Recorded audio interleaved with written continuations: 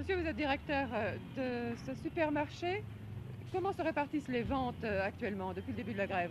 Eh bien, disons qu'elles se répartissent euh, surtout dans l'alimentation, dans l'alimentaire. Nous vendons euh, des farines, des sucres, des huiles, en priorité sur les autres achats. Mesdames, est-ce que la grève vous a beaucoup gêné Oui, madame. Pourquoi? Mais parce qu'il faut se provisionner, puis on n'a pas les moyens.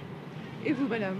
Nous, c'est question de la paye parce qu'on a l'habitude d'être euh, d'être payé le 25 et les chèques sont fermés. Mon mari est maçon, il touche euh, toujours juste pour manger et pour payer tout. que les comptes chèques sont fermés et puis euh, on a été pris de court. Est-ce que la grève vous a posé beaucoup de problèmes? Au moins énormément, madame, parce que je suis venue du Pas-de-Calais pour la communion. J'ai ces 10 enfants là-bas avec mon mari et il n'y a pas possibilité de repartir. Vous n'avez pas pu repartir? Ah non. On est ici depuis euh, vendredi passé. Est-ce que la grève vous a beaucoup gêné Bien sûr qu'ils ne touchent pas des payes, ils ne pouvaient pas manger comme il faut, ils ne pouvaient pas habiller les enfants. Jusqu'à présent, ça va à peu près. Hein? Les grèves vous ont beaucoup gêné dans votre vie Ben, courante Encore assez, oui, parce que mon mari est à l'hôpital. Alors je peux pas aller me faire rembourser? Non, ben, le ravitaillement, ça va. Vous avez fait des provisions? Non. Un petit peu, quoi, parce qu'il n'y avait plus grand-chose, quoi, pour, un peu pour les gosses, quoi, voir ce qu'il fallait. Qu'est-ce que vous avez pris surtout? Du sucre?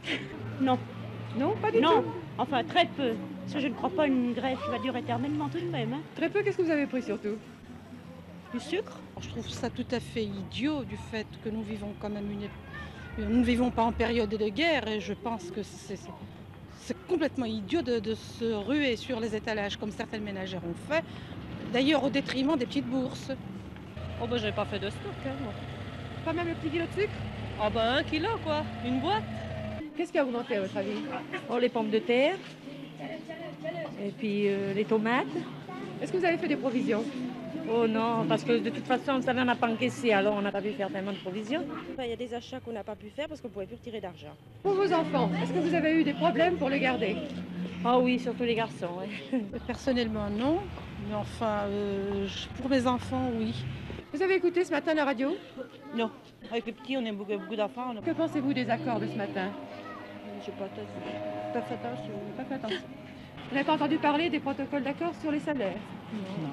Vous avez écouté la radio? Non, pas ce matin. Pas ce matin. Non, Merci pas beaucoup, ce matin. Ah ben, je suis tout à fait satisfaite parce que les ouvriers ont obtenu satisfaction pour la majorité, je pense, et surtout pour les petits revenus, encore une fois. On a été déçus. Comment s'est passée la fête des mères? Ah, C'est passé dans le calme, disons dans le calme surtout au point de vue chiffre d'affaires. Il n'y a pas eu d'achat d'enfants euh, sur Ah des non, objets non, non, non, on a vu justement que les enfants cette année manquaient. Ils n'avaient pas leurs petites, euh, leurs petites économies pour faire l'achat pour la maman.